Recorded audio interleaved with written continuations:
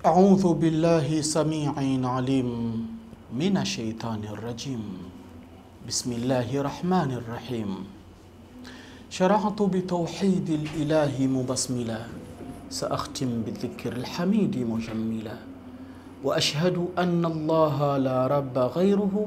تنزه عن حصر العقول تكملا.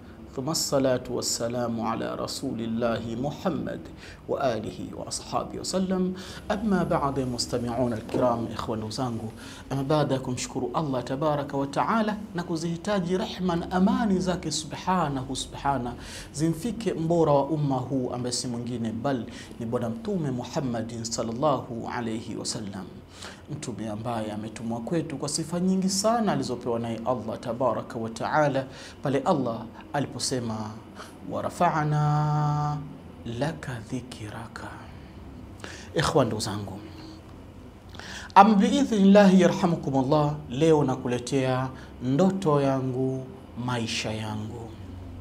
Ama katika ndoto yangu maisha yangu, tunasema usikubali kuitupa ndoto yako usikubali kuidharau ndoto yako, usikubali kuiona ndoto yako si lolote si chochote. Kwa hakika utakuwa umepoteza kitu muhimu sana katika maisha yako.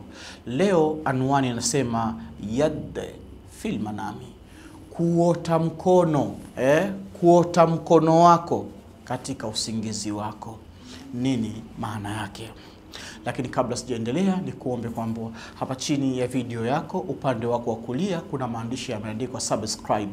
Yabonyeze maandishi hayo mara moja, kisha itakuja alama ya kengele, nayo hiyo tena ibonyeze mara moja. Hiyo itakufanya mimi na wewe tuendelee kuwa wanafamilia wa channel yetu hipendwa, kwa idhini yake tabaraka wa taala. yade filma nami kuota ndoto ya mkono usingizini. Nini maana yake? Tunaanza uh, tunasema mkono mkono wa kulia eh, kuota mkono wa kulia usingizini inajulisha wema wa mwanamume, maisha yake na mali zake, au watu wako wa karibu wa kiume. Ndiyo maana ya mkono wa kiume kuona usingizini. Ama mkono mrefu, kuota mkono lakini mkono ule ukaona ni mrefu mrefu, basi unajulisha kwamba utawala mkubwa, biashara kuingiza faida, masoko yenye faida. Ndiyo maana ya kuota mkono, lakini ule mkono ukawa na sifa kwamba sifa yake ni mrefu, basi maana zake ni hizo.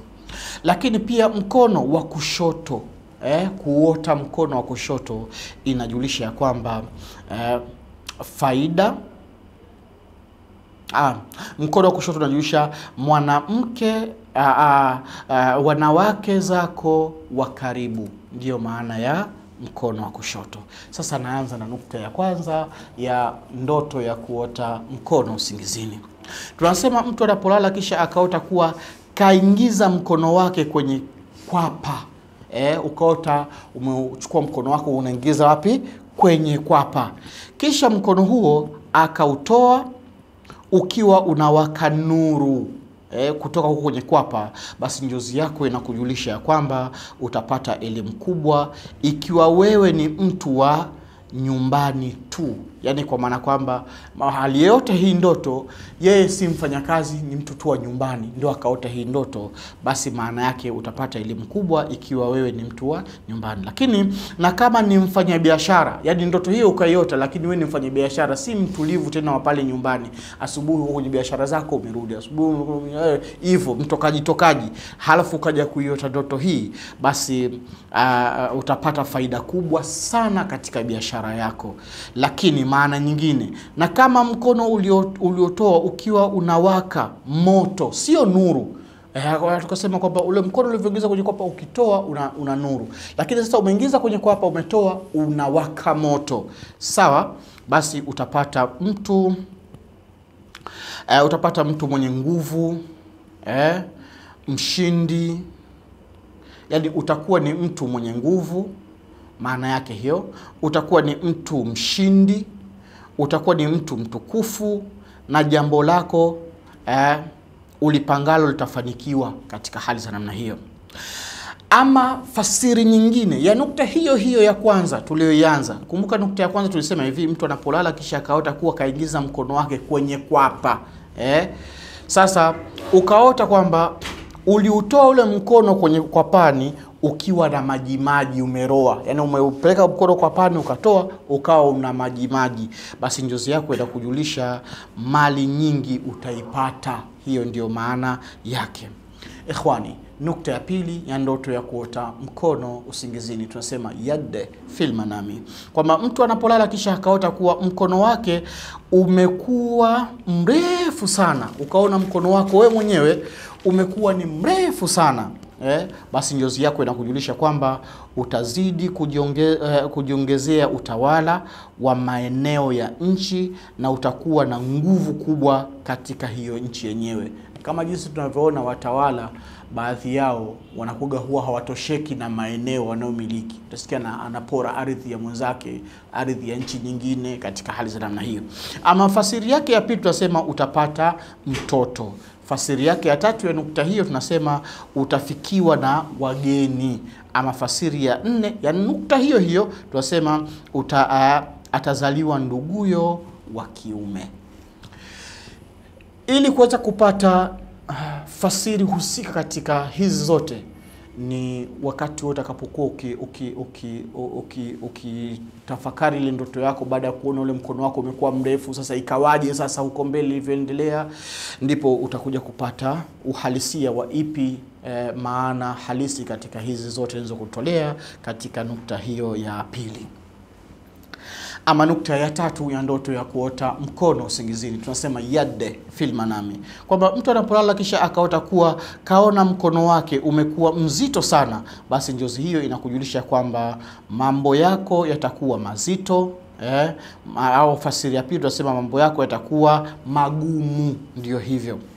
Nukta ya nne ya ndoto ya kuota uh, mkono usingizini tunasema yadde fil manami, kwamba mtu anapolala kisha akaona kuwa anautumikisha mkono wake wa kushoto sana eh, katika kazi zake. Yani kawaida watu wanatumikisha mkono wa kulia sana kuliko mkono wa kushoto, lakini ukajiona katika usingizi mkono wako wa kushoto ndio unaotumikisha sana kuliko wa kulia, basi njozi hiyo inakujulisha kwamba mambo yako unayoyataka eh, utayapata mwishoni. Mambo yako eh, unayoyataka utayapata mwishoni kabisa, pale ushaanza kukata tamaa, ndiyo mambo yako yanaenda kutimia.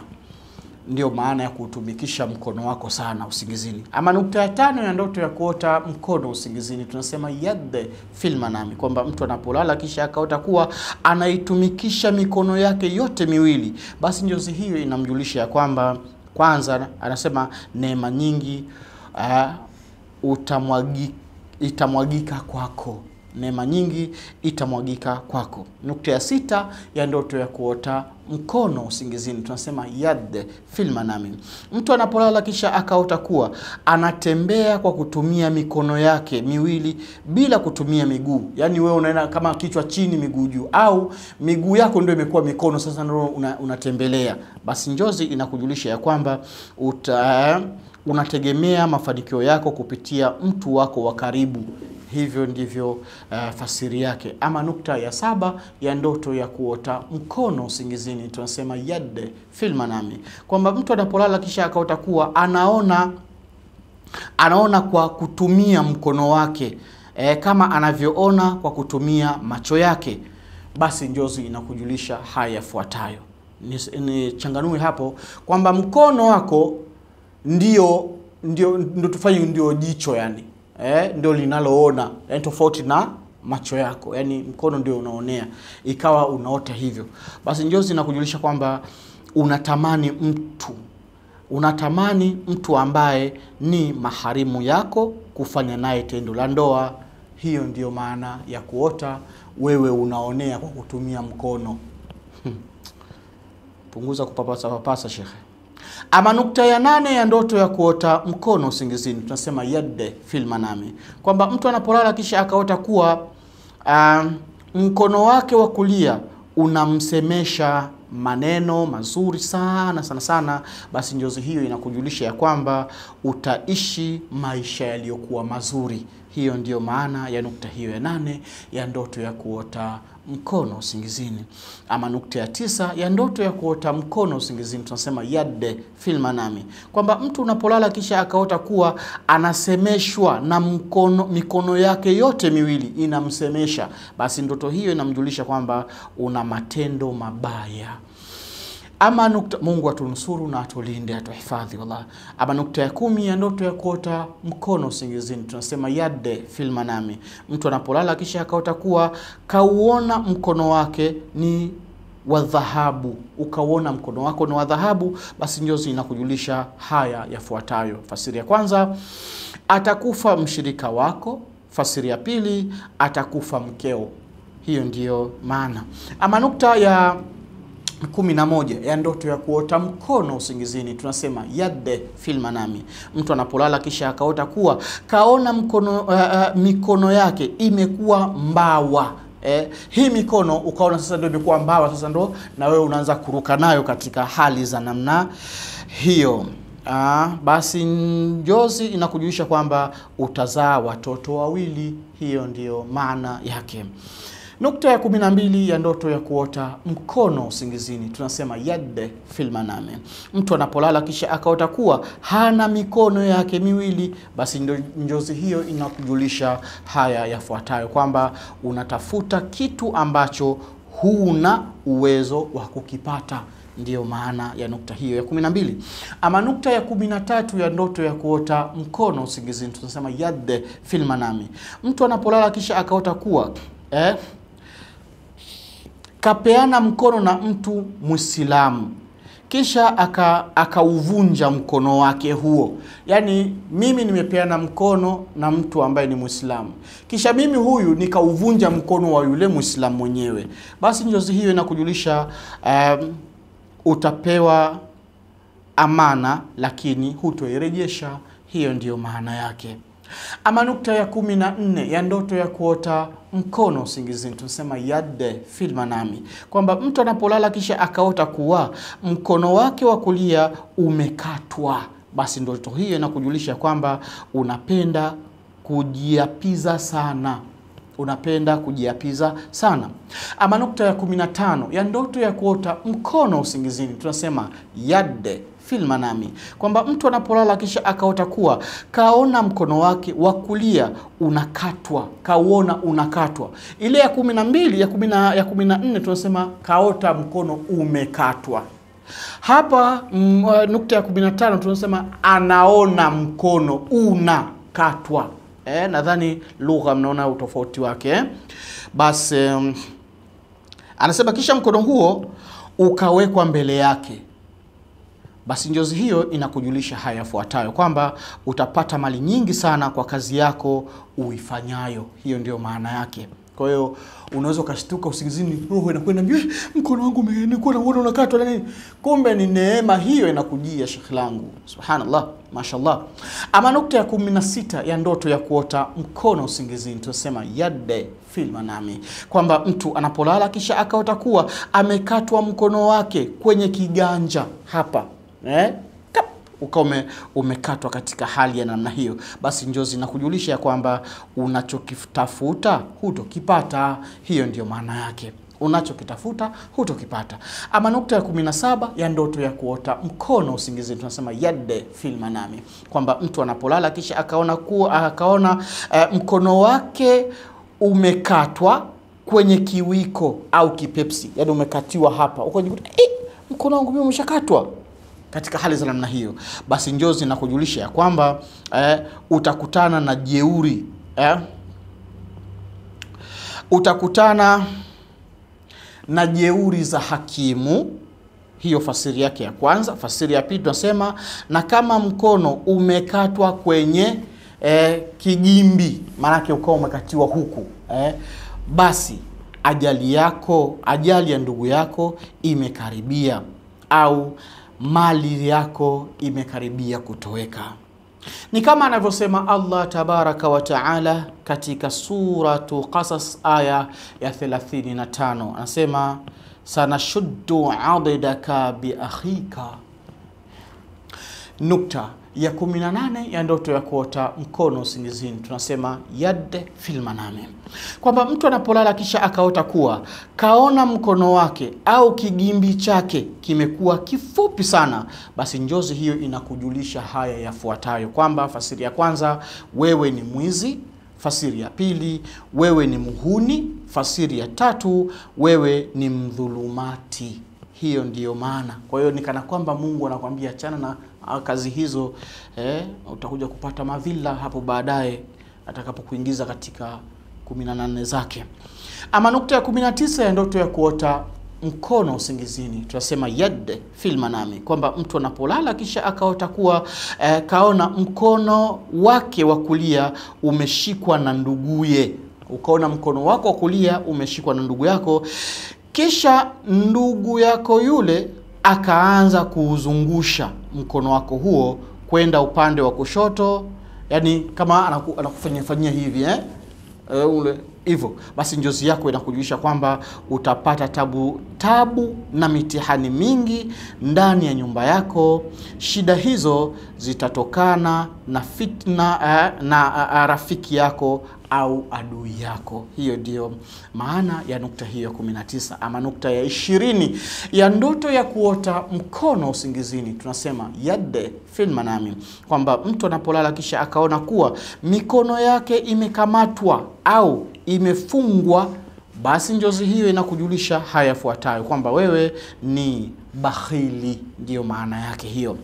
Nukta ya 21 ya ndoto ya kuota mkono usingizini tunasema yad fil manami, kwamba mtu anapolala kisha akaota kuwa kaona, uh, kaona kuwa mkono wake umetoa kisu, yani mkono wako ukaona umetoa kisu, kama ile ile Terminator ile, wale wenye kutazama movies ile, asema akifanya hivi likidole tu basi kidole limetoa kisu, hivyo katika hali za namna hiyo, basi njozi inakujulisha haya yafuatayo. Kwamba uh, utakiona kitu na utaanza kukishangaa. Utaona kitu na kuanza kukishangaa, ni kama anavyosema Allah tabaraka wa taala katika suratu Yusuf aya ya 31 baada ya audhu billahi minashaitani rajim. Falamma raainahu akbarnahu wa aidiyahunna. Nukta ya 22 ya ndoto ya kuota mkono usingizini. Tunasema yad fil manami, kwamba mtu anapolala kisha akaota kuwa mkono wake umepooza. Eh, ukaona mkono wako umepooza, basi njozi hiyo inakujulisha ya kwamba, fasiri ya kwanza, maisha yako yatasimama. Fasiri ya pili, umezidisha kufanya madhambi, ndiyo maana ya kuota mkono wako umepooza. Ama nukta ya ishirini na tatu ya ndoto ya kuota mkono usingizini tunasema yad fil manami, kwamba mtu anapolala kisha akaota kuwa kaona anazamisha mkono wake kwenye chombo chenye damu ndani yake eh, basi ndoto inakujulisha haya yafuatayo: kuna fitna inayokufuata. Hiyo ndiyo maana Nukta ya 24 ya ndoto ya kuota mkono usingizini twasema yadde fil manami, kwamba mtu anapolala kisha akaota kuwa eh, um, mkono wake akao, akaota kuwa anakula mkono wake au anang'ata mkono wake, basi ndoto hiyo inakujulisha haya yafuatayo. Kwamba utafanya jambo ambalo utajutia kulifanya utafanya jambo ambalo utajutia kulifanya. Ndio maana ya kuota unang'ata mkono wako na utafuna kitu kama hicho. Ni kama anavyosema Allah tabaraka wa taala katika suratu Furqan aya ya 27 eh, baada ya audhu billahi minashaitani rajim, wa yauma yaaddu dhalimu ala yadaihi. Nukta ya 25 ya ndoto ya kuota mkono usingizini tunasema yadde fil manami, kwamba mtu anapolala kisha akaota kuwa kaona mkono wake una uh, umenakishiwa michoro au mapambo ya hina ya piko au michoro yote ile umenakishiwa nakishiwa ule mkono wako, hey, mkono wangu umependeza kweli, basi njozi hiyo inakujulisha haya yafuatayo kwamba utapatwa na udhalili au utapatwa na haja au utapatwa na dharura. Hiyo ndiyo maana ya nukta hiyo ya 25 ya ndoto ya kuota mkono usingizini, ama nukta ya 26 ya ndoto ya kuota mkono usingizini.